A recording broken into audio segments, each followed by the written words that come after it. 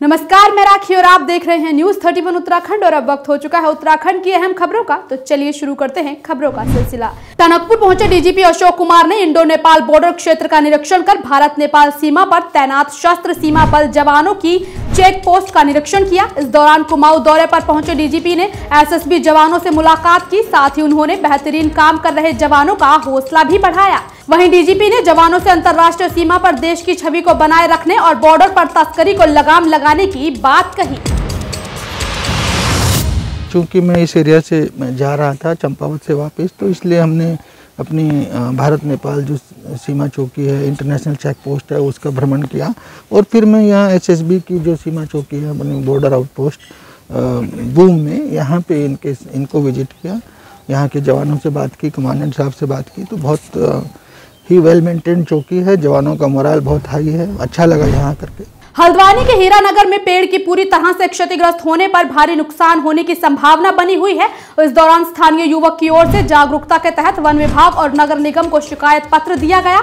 वहीं शिकायती पत्र मिलने पर विभाग ने पेड़ को क्षतिग्रस्त होने की बात कही। इस मौके पर नगर निगम ने कहा कि शिकायतकर्ता अपने खर्चे पर पेड़ कटवाए। वहीं शिकायतकर्ता का कहना है कि जागरूकता के चलते शिकायत की गई थी। साथ ही उन्होंने अधिकारियों के जिम्मेदारियों से भागने की बात कही।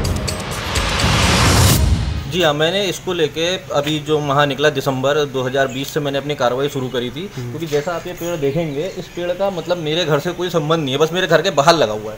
मैं नहीं चाहता कि अगर ये पेड़ गिरे किसी मेरे घर के सामने किसी को चोट लग जाए कोई कोई चोटिल हो जाए किसी का जान माल का नुकसान हो जाए तो मैंने इसकी सबसे सबसे पहले दिसंबर माह में मैंने इसकी कार्रवाई शुरू करी और मैं इसके लिए वन विभाग से मिला। तो वन विभाग से ये कार्रवाई चालू हुई और दो तीन माह की मैं ये कार्रवाई लगातार करता रहा। जैसा कि आपको पता है, सरकारी कामों में थोड़ा लेट हो जाता है, लेकिन फाइन फाइनली जब ये कार्रवाई पूरी हुई, जो नगर निगम ने मेरे को लेटर दिया, उसमें नगर निगम मुझसे कह रहा है कि ये पेड़ आप कटाओ, अपने खर्चे पे कटाओ, अगर कोई नुकसान होता है काटने में तो उसका जिम्मेदार भी मैं हूँ। इससे मुझे तो ये ऐसा प्रतीत हुआ कि अगर कल को मेरे घर के आगे कोई एक्सीडेंट होता है तो मैं तो सरकार को कभी सूचना ही नहीं दूँगा। अगर मैं सरकार को सूचना देता हूँ तो सरकार मुझसे कहेगी, अब तो तुम उसको हॉस्पिटल ले जाओ। अपने खर्चे पे उसका इलाज कराओ, और अगर बीच में उसकी मृत्यु आए तो इसकी ज़िम्मेदारी मेरी होगी। तो मुझे इस सारी कार्रवाई में ऐसा लगा कि मैं एक, ये पूरी कार्रवाई करके कुछ अपने आप में ठगा सा गया। वहीं बीते दिन देहरादून के डोईवाला में अंतर्राष्ट्रीय महिला दिवस के मौके पर बाला सुंदरी मंदिर परिसर में गोष्ठी का आयोजन किया गया। इस दौरान गोष्ठी में महिला समाधान हेल्पलाइन की सदस्य ने महिलाओं को कानून की जानकारी दी। वहीं ग्राम प्रधान रेखा बहुगुणा और कांग्रेस महिला सेवा दल की प्रदेश अध्यक्ष हेमा पुरोहित ने बताया कि आज समाज में महिलाएँ पुरुषों से हर क्षेत्र में बहुत आगे हैं। वहीं उन्होंने सरकार की ओर से महिलाओं की बेहतरी के लिए तमाम योजनाएँ संचालित करने की बात कही। पुरातन काल से महिलाओं के क्षेत्र में ही कार्य कर रही हूँ। तीस साल पहले, चालीस साल पहले जो हालात थे, मैं आज उस हालात से एक दावे के साथ कह सकती हूँ कि पहले से बहुत बेहतर है।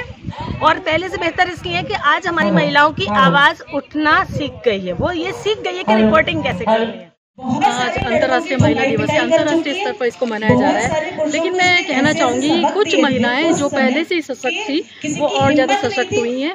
ज़रूरत है उन सशक्त महिलाओं को जो निर्बल जो हाशिए पर महिलाएँ हैं उनको मुख्य धारा में लाने के लिए उनके उनके अधिकारों के बारे में उनकी आर्थिकी के बारे में वो इकोनॉमिकली स्ट्रांग हो और उनको कानून की जानकारी हो उनको शिक्षा मिले उनको अच्छा स्वास्थ्य मिले आज अंतर्राष्ट्रीय महिला दिवस की सभी बहनों को बहुत बहुत शुभकामनाएँ और मैं ग्राम पंचायत कोटी मंचल की प्रधान रेखा बागुड़ा मैं कम से कम पंद्रह सालों से ज़्यादा हो गए इस ग्राम पंचायत में मैं इस कार्यक्रम को चला रही हूँ। और इस दिन महिलाओं में एक जज्बे को मैं भरती हूँ जो तुम लोगों की पीड़ा है जो समस्या है उनको हम आगे रखते हैं और आप, आपस में साझा करते हैं और उसके सॉल्यूशन के लिए भी हम लोगों को यहाँ पर रिसोर्स पर्सन को बुलाते हैं। जैसे आज हमने रेणु डी सिंह मैडम को बुलाया जो समाधान हेल्पलाइन की को चला रही हैं और वो एडवोकेट भी हैं। श्रीनगर के टपकेश्वर मंदिर परिसर में बैठकी होली का आयोजन किया गया। इस दौरान होलियारों ने ढोलक और हारमोनियम की धुन पर जमकर ठुमके लगाए। वहीं लंबे समय से होली खेलते आ रहे महेश गिरी ने बताया कि कोरोना के चलते पिछले साल होली का रंग फीका रहा,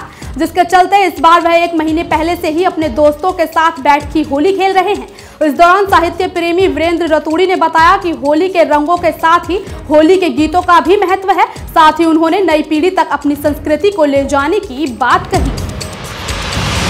जी, आज जैसा कि आप सब जानते हैं कि होली का पर्व एक ऐसा पर्व है जो बिछड़ों को भी मिला देता है जो हमारे वैचारिक मतभेद होते हैं ये दिन ऐसा होता है जब हम आपस में मिलते हैं और ये बैठ की होली जो काफ़ी लंबे समय से हमारे पूरे उत्तराखंड में मनाई जाती रही है और इस परंपरा को हमने आज एक बार पुनः आगे बढ़ाने का प्रयास किया है भगवान कटकेश्वर महादेव की इस भूमि से।